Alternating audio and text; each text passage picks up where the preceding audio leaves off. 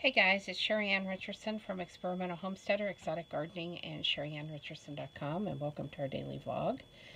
I went out to Planet Fitness this morning. I've missed a couple of days this week, and um, I was able to get in the hydro massage chairs twice, once before my workout and once after.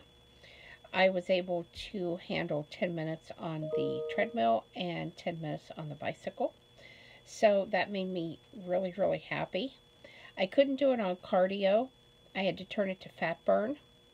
Um, but then I was able to do it. So I'm really looking forward to meeting with my trainer on Valentine's Day and getting a customized workout that's going to work for me and target areas like my stomach and give me some extra strength training.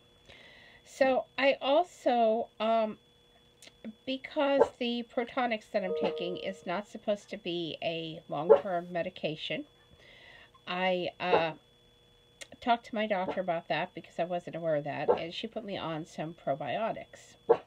And so we bought those, and I was doing some research last night, and it was talking about turmeric, and of course you want the curcumin that's at least 95%, and you want the black pepper extract as well.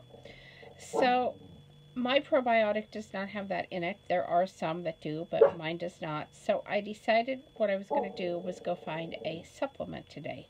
So I'm actually, I bought this supplement here. Um, I know the lighting is kind of shining on it. But it has the 95% curcumin and it also has the black pepper extract. And I did talk to the pharmacist while I was there and there's not going to be any issues with interaction with my thyroid medicine or anything. Um, I didn't think there would, but I wanted to double check. So I'm going to try this, and I'm going to see how this works as far as burning that extra fat and stuff that I don't really need anyway. And we're going to see if we can't get rid of that because I know that exercise is going to help, but it's probably not going to do everything all by itself.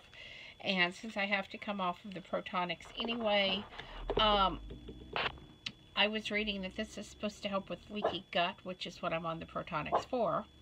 So I think that anything that I can do to kind of heal that and help is going to go a long ways towards my whole goal of being healthier and more fit this year. So, um, Charlie's just having a fit in the background. So I think it's going to be short and sweet today, guys.